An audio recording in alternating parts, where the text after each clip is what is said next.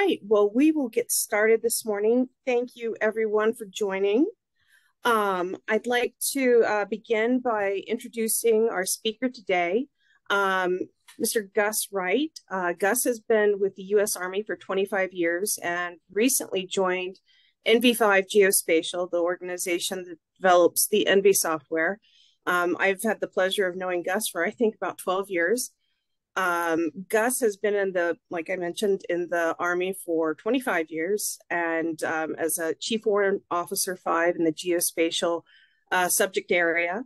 Um, he has a lot of experience with machine learning, um, spectral analysis. He has his master's degree from Penn State and um, has a great deal of experience in theater um, working with geospatial data and analysis. So I think he has a lot to offer in terms of um, GR, um, GRSS, understanding the needs of the warfighter throughout the world. And I neglected to introduce myself. My name is Amanda O'Connor. Um, I'm also with NV5 Geospatial as a business development manager. Um, been working with hyperspectral data for about 25 years myself. And um, I'm the chair of the um, Geospatial Space or Geosciences Spaceborne's Imaging Spectroscopy Committee. And Gus is also a co-chair on that committee. So thank you very much. Um, and I see a note here that I can see your PowerPoint in notes mode rather than slide mode. So okay, let's see if we what can I'll get. do is I'll swap displays. There we go. There we cool. go.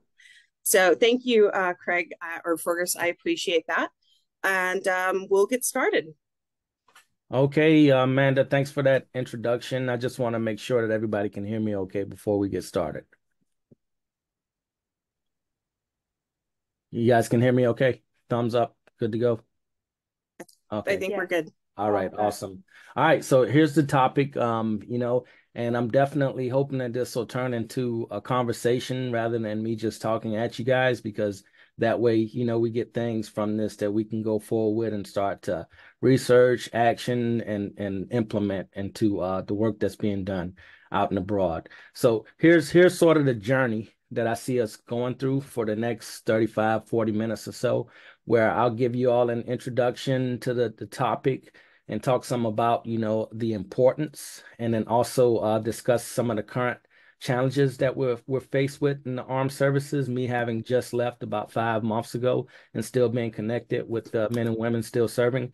And then I'll, I'll talk about the uh, role that we see spectral science uh, playing in addressing some of these challenges, and also solicit your feedback because you know we we know what we don't know on, on the armed services side. That's why it's important for us to lean on the community to get input, best practices, and workflows that'll help us along and we'll discuss uh, some opportunities for collaboration, um, points of contact uh, that you could reach out to if you think you could help.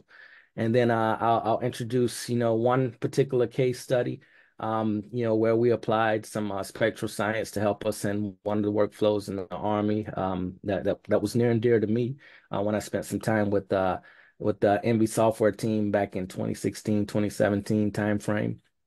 And uh, best practices uh, that we've seen. And as far as uh, questions and answers, um, feel free to submit your questions throughout this uh, particular presentation. And I think Amanda's going to be monitoring the chat room and she'll uh, interrupt as needed and uh, throw those questions at me. And I'll do my best to answer those questions and also take notes if I don't have answers to the questions so I can get back to you all.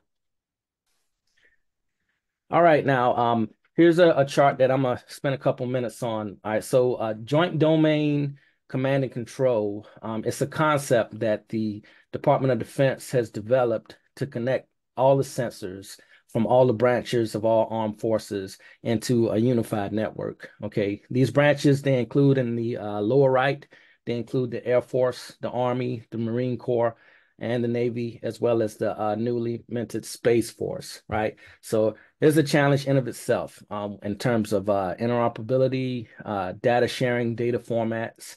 And the idea is to ensure that uh, we're able to um, maintain situational awareness of the sea, the land, the air, space, cyberspace, simultaneous, and potentially in multiple areas of, of operation, multiple regions across the globe. All right, so this becomes a challenge. And we see uh, spectral science playing a very critical role in supporting the armed services because it provides us with techniques for material and feature identification. All right, and uh, you know the the idea is to uh, develop workflows and making sure that those workflows are repeatable. So automation is going to be a huge component of that right? And that's going to help us with indications and warning systems uh, that that'll keep us with a decisive advantage uh, when faced with whether it be a humanitarian assistance situation, disaster relief, or an actual combat scenario. So we want to leverage spectral data and analysis uh, to to gain insights to address our challenges, and enhance the capabilities that we currently have, ultimately bolstering our ability to uh, defend the nation. Right, some more um, detail concerning the importance. Okay, when when considering material and feature identification, we need to have positive ID on whatever it is that we're we're looking for. Um, so spectral science is going to play a huge role. All modalities, um, you know, the best modality will lean on the community for that, uh, depending on what the the particular um, feature of interest may be. And um, you know, obviously, this uh, particular discussion is at the completely unclassified, unrestricted um, uh, level. So our contact information will be provided at the end if we want to go into more detail. Uh, but we, we ultimately want to enhance situational awareness so that we can have precision and accuracy when carrying out missions on the ground. And this is crucial for uh, mission success and also minimizing co collateral damage or unwanted harm uh, when we're doing the business that we're doing. Uh, automation is important because we need to be able to repeat said processes without having to reinvent the wheel, which led us up to the, the actual point of, of taking decisive action. So we need automation. It's a pivotal role. We're at the point now where we're, we're teaching our uh, soldiers, sailors, and Marines uh, how to uh, do basic object oriented programming um, so that they can do some things on their own, but we lean heavily on academia and the community to help out with that as well. And this is this allows for rapid response uh, in vital situations where where we need to be able to uh, you know exercise decision dominance is something that we we like to use as a term as of late exercise the ability to feed information to decision makers so they can make decisions at the pace of modern warfare indications and warnings are extremely important uh, when it comes to uh, making uh, decisions because we want to you know get ahead of things right? So early detections, uh, the use of our spectral sensors to enable us to identify threat actors or or someone doing something that goes against uh, conventional laws that allows us to be proactive in taking measures that that will continue to, to keep our our troops safe and also to enable us to protect the, the homeland. All right. And it, it enhances our ability to to anticipate, uh, you know, to do some some uh some red hatting to see what we think might happen and model those situations as well. And in terms of, of joint target custody, uh, here lies a, a challenge, all right, because uh, co collaboration and coordination between services is extremely important because sometimes we don't have uh, visibility from one sensor or the next, or, or one source of uh, information or the next. So we have to rely on one or, or another to maintain vis visibility on something that we may be, be looking for uh, among the different branches. As I spoke of earlier, uh, the combination, combining of sensors across all services uh, is one way that we think we, we will be able to accomplish this, right? And this will ensure seamless sharing of features of interest information, optimizing our resources and allocations so that we're not wasting uh, resources uh, on one service or the, or the other, and we're, we're actually tasking our sensors properly to maintain custody of something for the duration of time that we need to have eyes on it. Current challenges. Here's where I can see us truly leaning on uh, the scientific community and also leaning on um, academia right? And what I like to do is try to completely avoid thinking traps. And what I mean by that, I'm quite sure all of you have uh, have watched TV or the, listened to the radio and hear a ton of talk about machine learning, artificial intelligence, deep learning, And I, I truly think that most people don't have a clue about what they're saying when they say some of those things because, uh, you know, we realize that that's not the answer to every one of our problems. So we want to be able to allow the subject matter experts within the the field in the realm of, of spectral science to make the determination of what workflow, what best practice applies best to what it is that we're trying to do, right? And obviously, we want to be able to repeat those um, through uh, automation, and data convergence becomes an issue. You know, data formats. How do we converge all different types of data when necessary to be able to answer the questions that we have? right? And then also there's one thing that I would say keeps me up will be the uh, cognitive data loss. And what I mean by that is, you know, there, there are thousands of analysts across the force um, doing things, you know, making discernments, uh, heads up digitizing, uh, doing a literal analysis on imagery. Um, in some cases, not maximizing um, the full capability of all the spectral uh, data that that's available within said imagery, uh, not maximizing uh, all all the bands and and the uh, best practices that are available to us with the uh, with the software, the sophisticated software that we have at, at our disposal. And in my opinion, um, I, I, truly think that uh, we are not capturing all those discernments properly because I can see that as tagged information that could potentially help us if we uh, needed to do uh, deep learning or machine learning uh, to repeat some of some of the the workflows that we're doing. Uh, but there's not an efficient way um, in place right now to to capture all of that work that's being done so that it can be reusable for the purpose of training a model or or uh, or, or, an object detector. And uh, we will lean on the community and and industry to help us out with that. And feature of interest custody or target custody um, that's a challenge within itself. Uh, you know that process of maintaining eyes on something and being able to say you know where it's at where it might potentially go or where did it go. Uh, that that is a challenge within itself. And you know we lean on the community to to uh, help us with thoughts and ideas best practices modalities on how to actually get after that problem set. And hopefully we'll get some of that from this how we see the role of spectral science and addressing these challenges, uh, the, the workflows and the techniques. Uh, what are the best workflows and techniques to do some of the things that was discussed? You know, spe spectral science is going to play a, a, critical role in addressing these challenges uh, faced by the armed services in, in several ways. Uh, for instance, material and target identification, okay, utilizing spectral analysis techniques to accurately identify materials and targets uh, even in complex environments or, or in situations where uh, people are trying to disguise or, or spoof or put decoys out. Um, we can see that as a way that spectral science can actually help us to address uh, some of our problems and enhances our ability to differentiate differentiate between friend or foe uh, and also reduces the risk of, of friendly fire incidents so that we can actually identify one another in our operating spaces. Another way that we can see spectral science helping us will be uh, automation. Implementing spectral science and automation processes can help us to streamline data analysis. It'll improve uh, the speed at which our decision makers can make decisions. And in some cases, uh, we can automate all the way out to the decision if it's a, a, a confidence interval, interval that we can we can live with. It also reduces the amount of human error that might take place. Okay, enhancing the efficiency of reconnaissance is another way that we see uh, spectral science helping us uh, with surveillance situations, uh, uh feature of interest acquisition tasks through automated spectral data processes.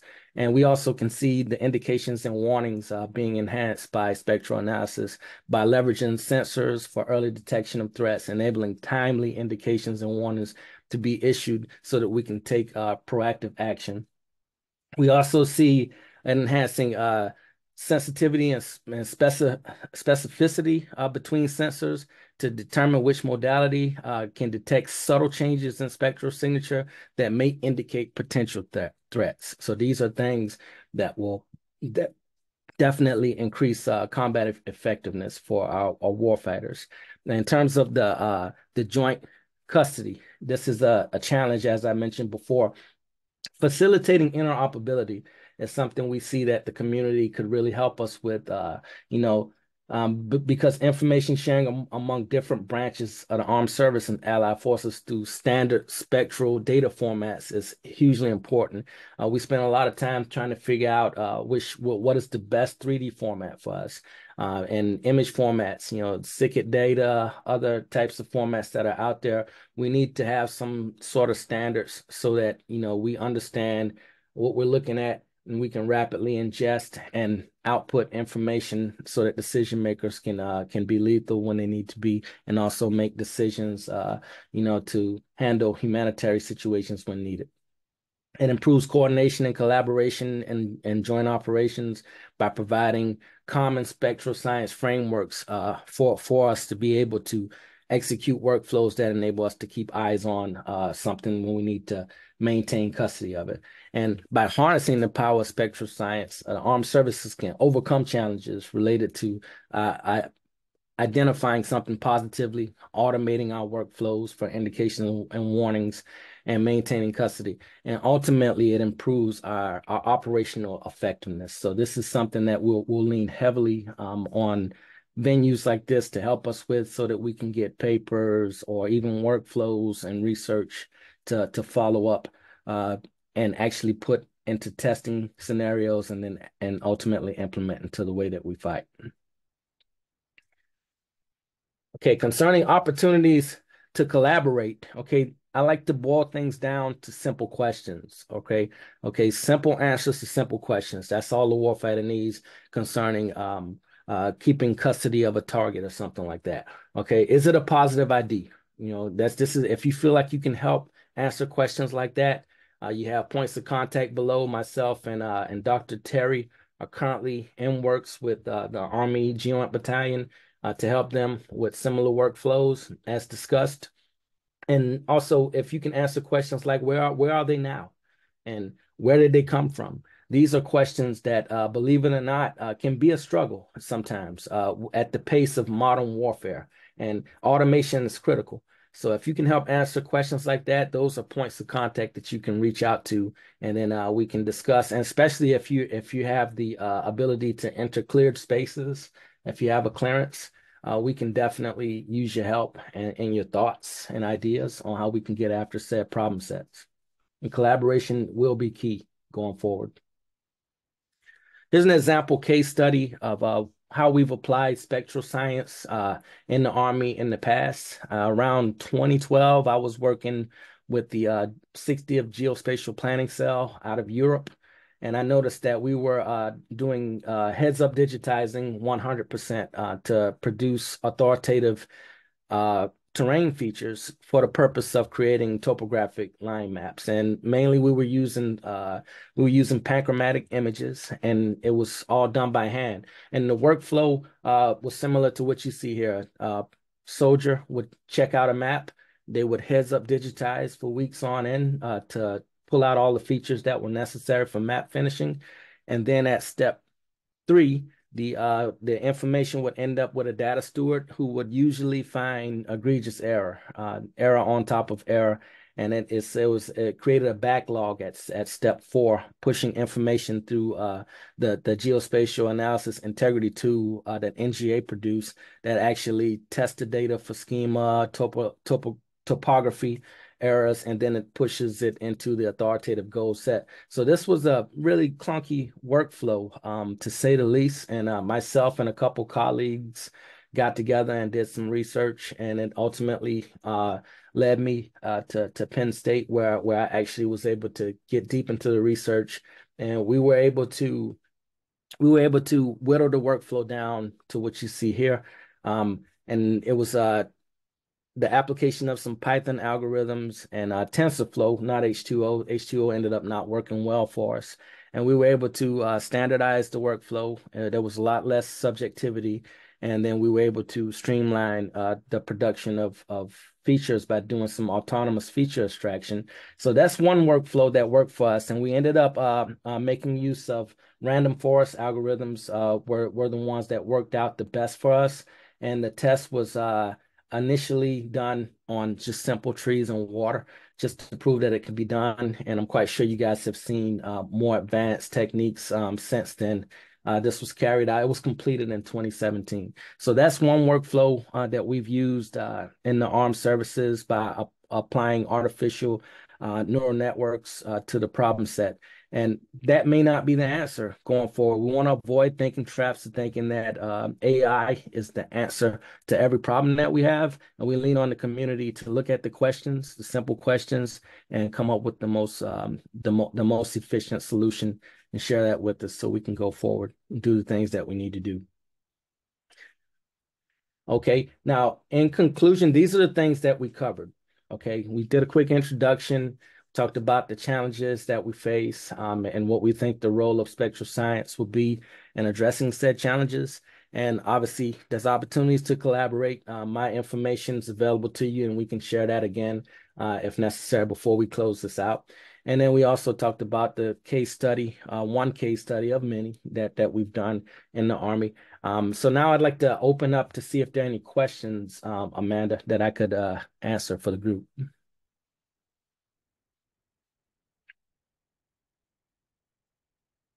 I think you're muted, Amanda. Thank you. Um, if any, thank you guys for that presentation. Um, if anybody has any questions, please put them in the chat. I've got a couple to get us started. Um, you know, Gus, what do you think has been most important in your learning of how to apply spectral data to the problems that warfighters face? I think the most important thing um, for for us would would be um, to ensure that we're taking the most efficient approach, understanding what data is available to us and what tools that we have to exploit said data, and more importantly, knowing what the question is, uh, because I think uh, too often uh, we we've had um, we've had our end users and our end users on the, the Department of Defense side is usually a decision maker, someone who's in command or in charge of something. Uh, we've had those guys sometimes come to us uh, um, and jump past giving us what the problem is and asking for specific things. Uh, you know, and to give an example, you would never go to the doctor and say, "Hey, I need an EKG, I need a CAT scan." You would give symptoms. So understanding the question is the most important thing to us and then understanding what data and what tools that we have and then educating our decision makers uh, to help us to uh, to help them to identify where there's where there are knowledge gaps that we can help them with help them to learn to ask as poignant uh, spectrally and geospatially related questions. That's the most important thing. Great thank you. We have a question from the chat uh, for 3d representation. Are you applying any fusion techniques apart from hyperspectral with panchromatic? Um, not that I know of for for the particular problem set that we have. Um, and if you know of ways, by all means, uh, share that with us um, because we we have the ways that we're trying. And again, I'll go back to those uh, collaboration slides. We have ways that we're trying, um, and obviously they're being done in cleared spaces. So if you are cleared, um, we can talk some more about it and uh, hopefully collaborate with you if there's a better way of getting after the problem set. But we are using video as well as uh, imagery to get after it. Thank you. And we have another question from Andre uh, Friedman uh, from Norsk Elektro Optikk, which I think is HySpex, um, produces the HySpex camera. Um, correct me if I'm wrong in the chat. You described working with uh, spectral data as identifying various spectral signatures. Is the technique called anomaly detection usable for your applications? Yes, it is. And uh, we, we are applying anomaly detection. Um, uh, but we haven't found ways to um, identify everything efficiently that we're interested in. So some things are easily to identify in that way, you know, applying principles of autocorrelation. You know, if something just doesn't belong in that region, you know, we can pick it out. Uh, but uh, you know, w- we need to go on a case by case basis. You know, one feature, um, one technique may work really well for, but not for the next, if that makes sense. Thank you. Um, I'm just reading the next question. Um,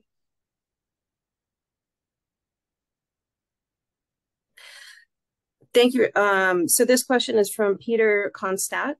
Uh, this question is not related to optical remote sensing. Sorry, that's okay. We we we, we work with SAR too. Um, but I wonder if you know anything about using the recently commercially available high resolution SAR data, such as Umbra, um, to monitor and detect minefields in Ukraine. I wonder if the surface displacement of large minefields would be detectable, and I'm curious to hear what you think. Yeah, oh, we we are using some of that data. Um, and as far as minefields, we haven't tried to do it um, for for that particular.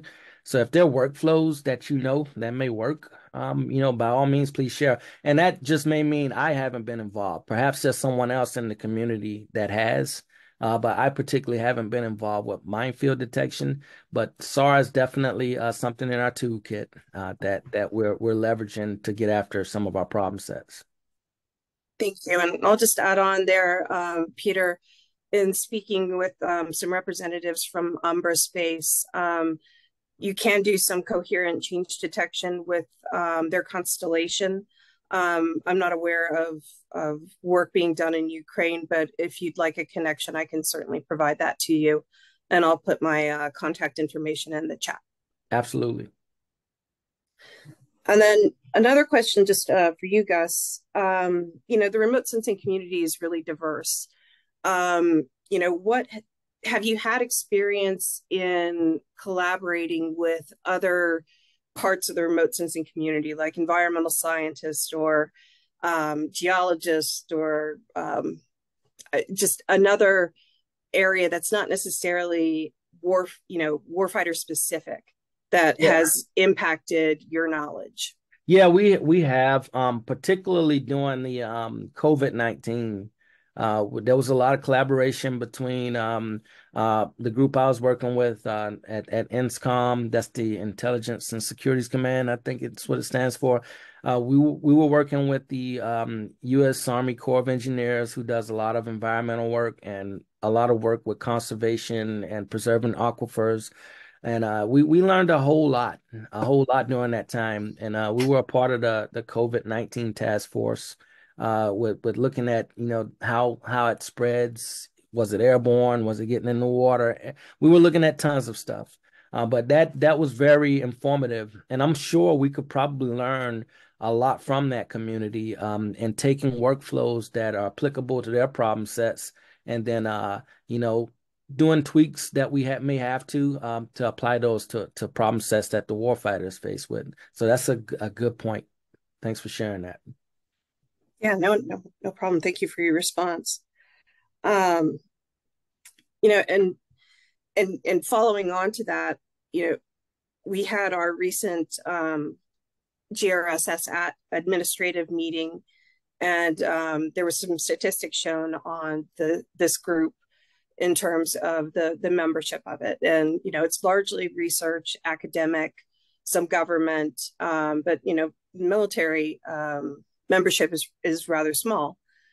How do you think that organizations like this can better influence or better support the armed services community?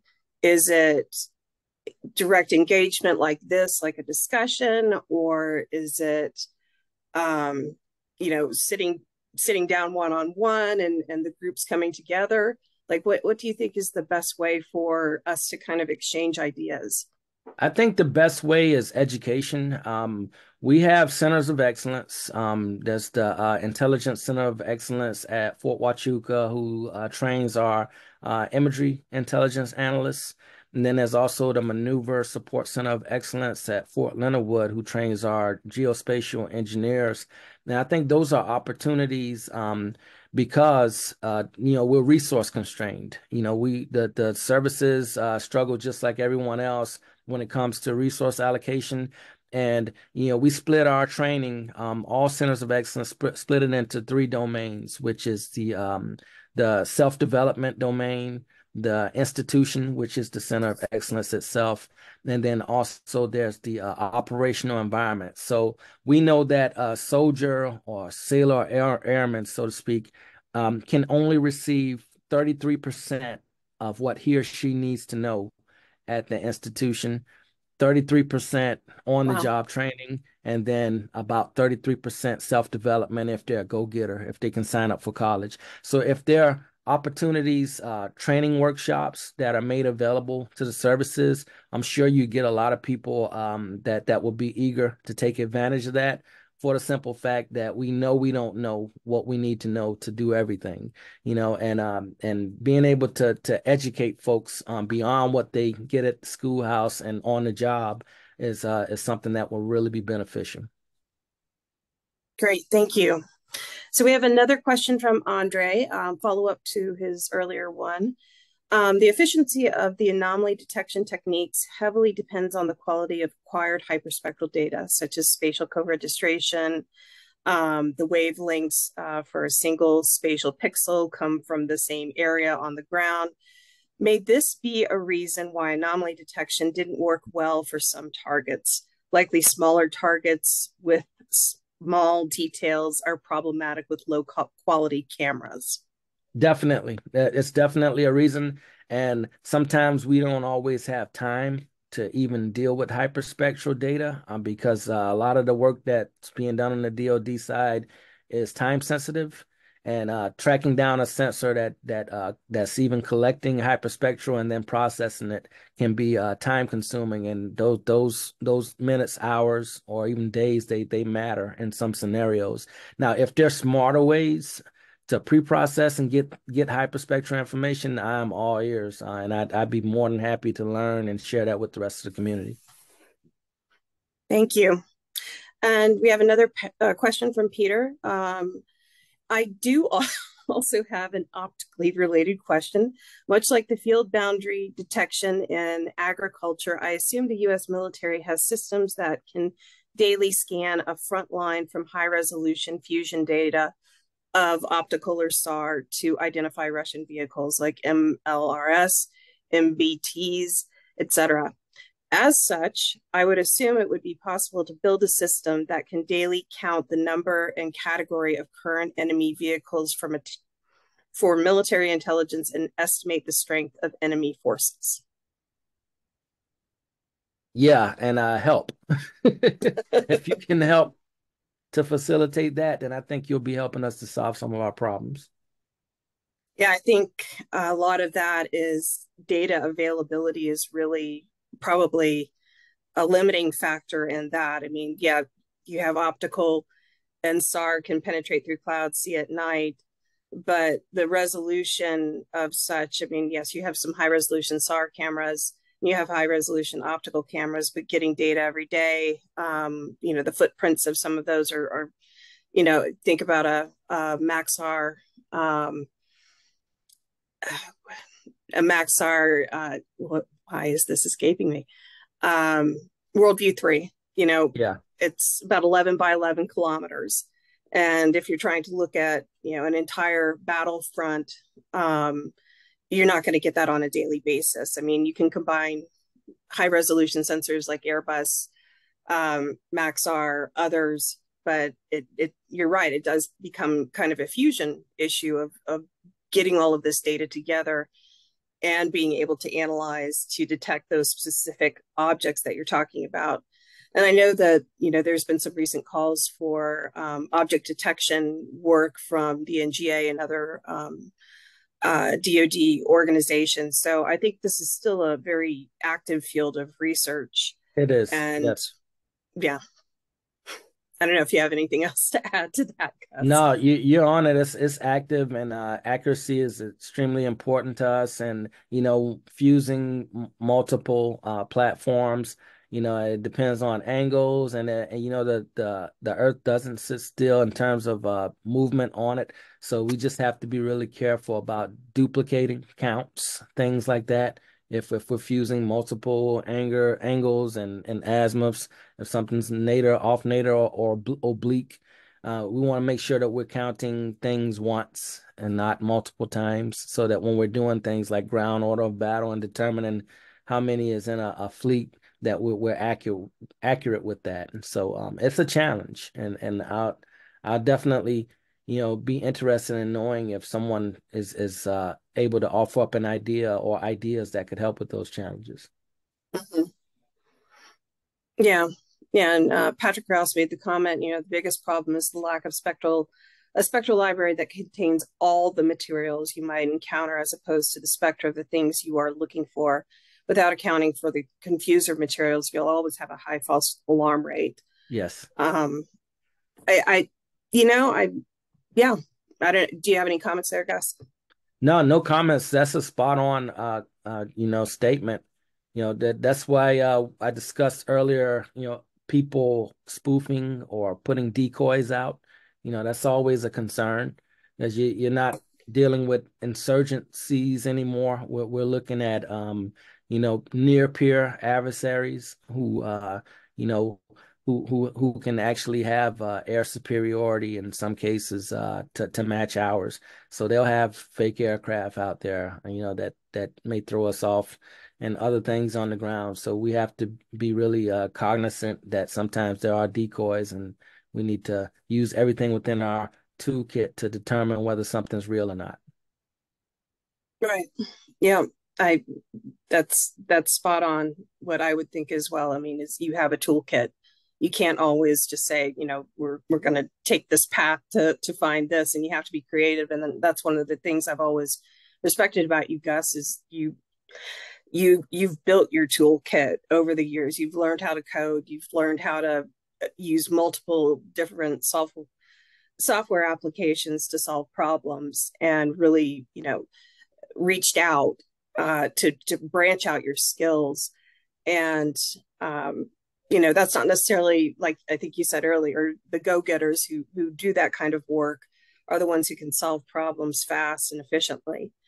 Um and yeah i've i've always had a great deal of respect for for the work that you've put in to to advancing your career in that direction Oh, much appreciation. You know, I've I've learned a ton from yourself and Adam and other folks on the team, and uh, which is why I can't say enough um, that training opportunities for the warfighter is extremely helpful. Because just as we discussed, uh, myself being able to spend that year with uh, the ENVI software team, well, that's just one guy from you know the entire army and everyone doesn't get those opportunities. So if there are opportunities uh, that can be presented workshops, even if it's virtual, I'm quite sure you'll get a high particip- participation rate, and furthermore, we'll we'll get um, you know some skills out there that can be applied against the problems that we have.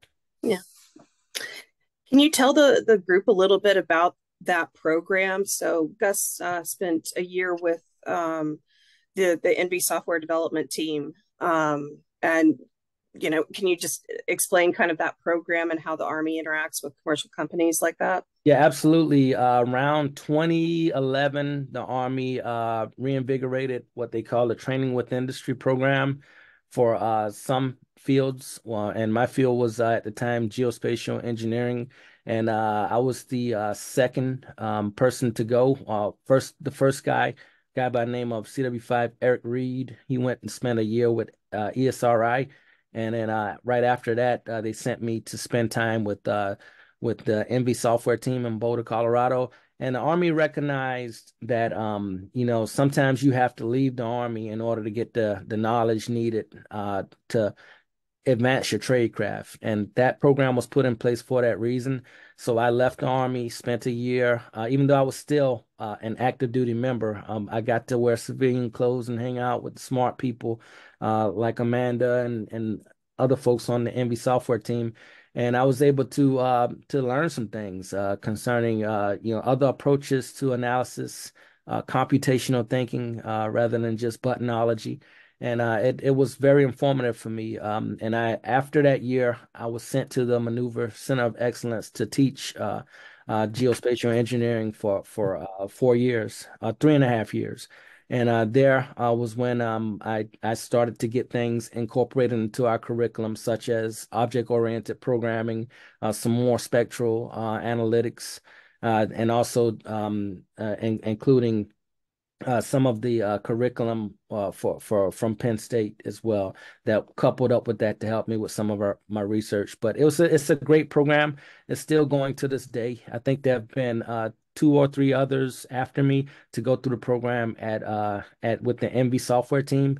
And if the Army's smart, they'll continue that program because uh, the capabilities that they get from that are um, irreplaceable, and you can't put a, a dollar amount on what that does for a soldier, and then that soldier returns back to the force and and you know prolif- proliferates that knowledge uh, to all the people that he or she uh, is able to work with and lead, mentor, or work for. Yeah, it it was a great experience, you know, from the commercial side to learn from Gus, um, to help us improve the products that we create um, and really get that firsthand knowledge. And I, I think that's an excellent program for any of you who, um, you know, work in the commercial industry. Um, Gus can provide you with information on on how to how to work with the Army if if, if that's an opportunity um, that is feasible um, within your community. So, yeah, that was a uh, it was a really great program. Um, one final question. You know, we uh, we touched a little bit on high resolution SAR and hyperspectral. We know that there's a lot of small sats coming. We know that there's a lot of multispectral small sats. Is what do you think is going to be like the most important modality, or is it just a fusion of data that's really going to be the best tools for the warfighter to access yeah, in the, the next war- couple of years? Yeah, I would say as, as far as the warfighter goes, the warfighter is always going to be modality and software agnostic, more concerned with the answer uh, than anything because you know they're high stakes and winning is you know the bottom line uh, when it comes to the warfighter. So whatever modality is needed to get the answer to those simple questions, and you know just so happens this slide is still up. You know, is it a positive ID? Where are they now? And where did they come from? Where might they go? Simple questions like that. So if that modality can answer the question, it's going to be the best one for us. So it, uh, it, more likely what you said, a fusion or um, uh, uh, a tandem usage of multiple to get after the answers that we need. Yep, that that makes perfect sense, and that was one of the things. Like when I've done training uh, with the Marine Corps, um, is you know the question gets comes down it gets asked it's like it's all hands on deck on how do we solve this problem and what skills can we have and um so yeah your comments on training are very um very salient in terms of having that knowledge so that people can actually solve the problem quickly and produce a result that's accurate um, and can be used. So, absolutely. Um, any other questions um, before we wrap up? Okay. Well, Haley, thank you so much for uh, being our Zoom guide today. Uh, Gus, thank you so much for your presentation and your time and knowledge. We appreciate you sharing it with this community. It was a uh, pleasure. Uh, this will be on the GRSS webpage. Um, if anybody wants to watch it or forward on to their, their colleagues. And um, I said I would put my email in the chat as well, which let me do that now.